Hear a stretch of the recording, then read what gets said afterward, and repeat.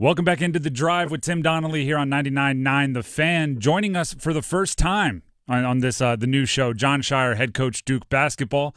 Coach, uh, thank you very much for for taking the time. First of all, and and we'll start with uh, kind of the, the biggest offseason question. Uh, you've battled for ACC championships as a as a player, won some as a coach, won some.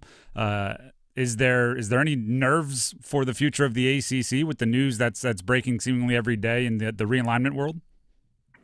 Well, first of all, Tim, congratulations to you. Uh, thanks for having me on. It's great to be with you. Um, and as far as the ACC goes, or you mentioned nerves, I found very quickly from my first day when I was, you know, named head coach, the amount of change in college basketball, college athletics uh, at this point it's par for the course. And you know, I've realized you have to be very flexible, adaptable, and you know, really, I think we're secure and solid for right now. But I don't think you can say what the future holds. And for us, just continue to take care of business, doing what we're doing, and uh, we'll see what the future holds. But in the moment it's not about nerves or anything else because you can't control it. There's really nothing nothing you can do to control it. Is there a way though, right? Because because we keep hearing football's driving everything. Football and the football media rights are driving everything. When when you look at it, is there a way to make sure basketball doesn't get dragged along to whatever's best for football and college sports? Yeah, I mean, of course. You know, it's look college basketball. We have uh, an amazing product. I think there's been. Uh, you know, with some of the change that can happen with uh, conference realignment, or just the nature of the sport where there's a lot of um, change in roster turnover. Uh, you know, look, in, in, in, March, we have an amazing thing with March Madness. We have to continue to figure out how to make that one of the best sporting events in the world, but also get more attention earlier in the season to college basketball. And of course, football is a lot of this is built around that. Uh, but I can say with what, you know, the, the brand that we have as far as Duke basketball goes and you know the the history of the ACC, you can't tell me that doesn't mean something. And, and just just is the 96 team tournament as far as making that the premier event that it is the the the NCAA tournament 96 does that seem as crazy to you as it does to me? It's I'm not there yet in favor of it. Uh, I know a lot of my colleagues are uh, in favor to do it. I'm just such a you know, I've grown up the whole way. You know, I didn't feel there's a big jump when we went to 68 teams. I think that was a great thing adding in those playing games on Tuesday and Wednesday. I love the way it is now, but I'm also, I, I, I think it's foolish to say that it just has to stay this way forever without looking at ways it can can improve. We're talking with Jon Scheyer, Duke basketball head coach here on the drive on 99.9 The Fan. Uh, I know you said that kind of since you took over, the uncertainty is, has been constant. Does uh does part of you say like you know, Coach K had forty plus years of just ACC dominance. Why why is all this happening as soon as I show up?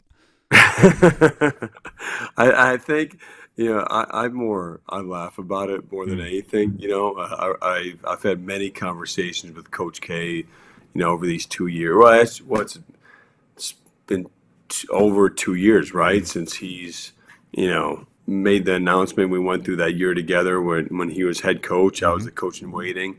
And, uh, you know, 99% of things for 40 years, I could say, hey, this issue came up. What would you do about this? Or how do you feel about this? Uh, and seemingly it, it, feels like more and more issues uh, he didn't experience, which is crazy to think about. The most experienced coach really ever with his, you know, what he's done, USA Basketball, Army, and then Duke.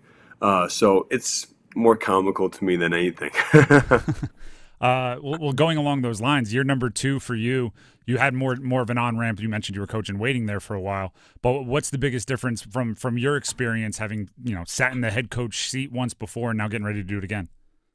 Well, I think that the the biggest difference, reflecting back on last year, was the fact we didn't have we had you know one one player returning that had you know real game experience in Jeremy Roach. You know, second one in Jaylen Blakes, who was here as a freshman, and so that has never happened in our program before. We've had three, four players returning, but never two. And so not only are you figuring out your own path as a head coach, but also you're doing it with a team full of guys that are learning what it means to you know play for Duke basketball and be Duke basketball And so I, I I'm proud of the fact we have eight players returning. Uh, we have four, you know, really good freshmen coming in. That doesn't qualify you to get any wins. We have a lot of work to do and can't assume anything. But I do think there's a there's a, a core to what we've started in year one that can translate and carry over to year two. That, that voice you hear is Jon Scheyer, Duke basketball head coach, joining us here on 99.9 The Fan on, on the Heister Automotive Group hotline. Uh, Jon, I'm, I'm a kind of playing into what you just said. I'm a sucker for NBA mock drafts. I'm, I like refreshing I refresh them every day as if somehow like you know the uh, uh, lottery pick's gonna become number one overall or, or vice versa. Um, but I do see Flip and I see Tyrese Proctor on a lot of those first rounders. Uh, what's the the pitch or how'd you get you get them to come back on campus so you have some more that that veteran uh, presence? Well, I, I, look, those mock drafts are, are great, and you know we tell our guys fun. it's po- it's it's fun. It may, it may be fun for you or fun for you know my you know brother-in-law who can look at them, but you know for for our guys it can be it can be poison. Mm. And uh, you know one of the things they both made incredibly mature decisions, and like you said, Tim, they, you don't see that very often. Where Tyrese, um, you know, it probably was projected as an early second round pick last year. You know, and obviously there can be wiggle room once you're in that range either way. Uh, but he felt like he needed another year to become more ready. He didn't want to just be in the NBA. He wanted to stay there for a long time. He, w- he wanted to be ready to make an impact immediately. And so coming back for a year, having a chance to lead our team and to take the next step was incredibly mature on his part. And then obviously with Flip, he was going to be a first round pick, but he had, you know, double hip surgery this offseason. Uh, he felt there was more work to be done. Uh, he wanted to be ready as well. And I give them both a ton of credit uh, for making this decision. And I think it's a great thing for college basketball. And and one of the guys that's going to be tasked with helping them make that next step, as, as well as the, the younger guys and, and everyone else on the team, uh, you hired Emmanuel Dildy to be one of your, your assistants. Uh, could be a shock, I guess, to, to some fans to see someone that didn't play for Duke on, on the sideline to go along with, with Coach Lucas, who you brought in last year. I saw, you know, uh, uh Emil has the wedding and everybody's there. You got the brotherhood picture. You're in the nice Duke blue suit. Uh, I'm sure you looked at the you know the the the Duke alumni. What was it about Emmanuel Dildy, and what is it about kind of your philosophy that lets you go outside of that lineage?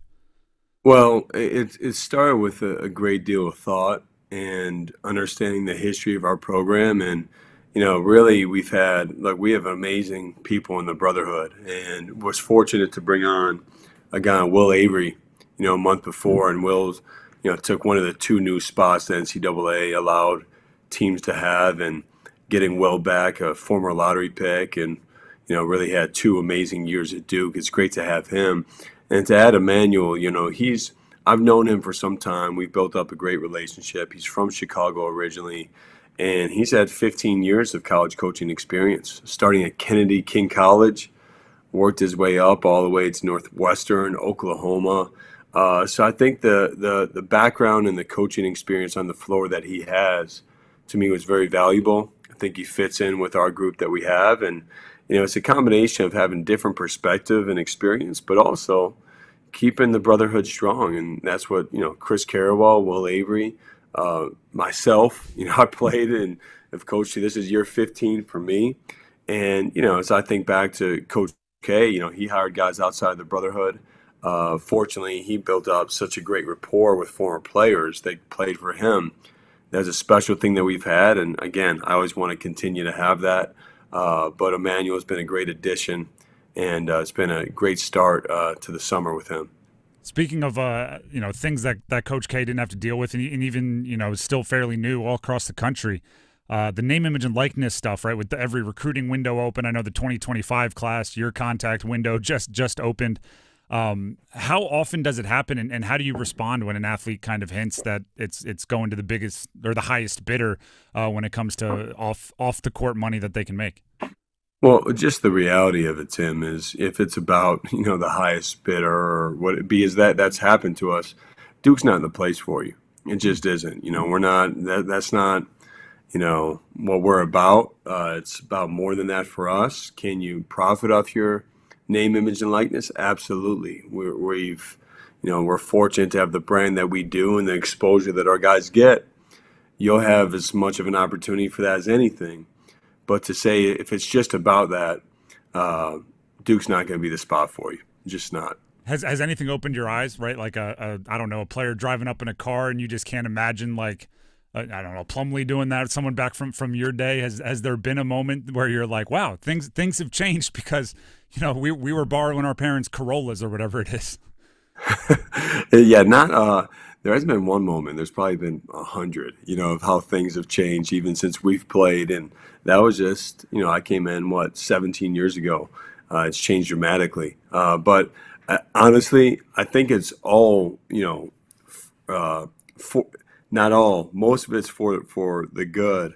You know, we were talking yesterday. You, you used to have barnstorming. I don't know if you're familiar with that, but you could, you know, after your senior year of college, you go barnstorming mm-hmm. in the state of North Carolina and bring some gear and sell it.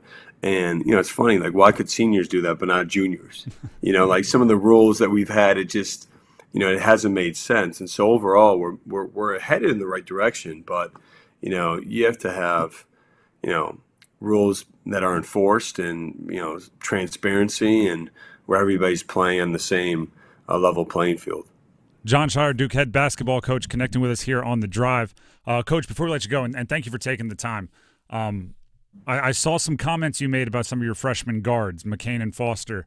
Uh, you used the term serious, right? Like first in, last out style comments. Now, uh, I played college football, so I know coaches sometimes get diabolical. Was there uh, was there any coaching through the media there happening where you're praising the young guys, but also letting the vets know, like, hey, why are freshmen first in, last out? We have we have some guys that should should know this a bit better. No, it was there's no hidden message there. You know, our upperclassmen worked their butts off too. I, I think the fact that to have freshmen that, that are that mature with their with their work ethic, we haven't had necessarily, mm. and that's that's been it's been a different feeling. You know, you can ask our upperclassmen; they would say the same thing. And as a credit to, not I mentioned the freshman guards, but also T.J. Powers, Sean Stewart, those guys. Excuse me, those guys have been in as well, and uh, so all credit to them. No hidden messages, at least not on that one. Maybe maybe a different time. Uh, but we've had, you know, really hungry team, and they've heard me say over and over again, we can't assume, and they've really taken that to heart and done a great job this summer. Well, well, well, that's how we'll end it, Coach. If you ever do have some coaching through the media that you want to do, if, yeah. if there's, if you think the best method for them to hear it is maybe through through a, a, radio show or a podcast, YouTube, we're here for you. All right. I knew I knew I was coming on here this morning. I'm glad we could come to this arrangement. All right, it's, it's, it's a deal. Perfect. Thanks, Coach. Really appreciate your time. Thanks, Tim. Appreciate you.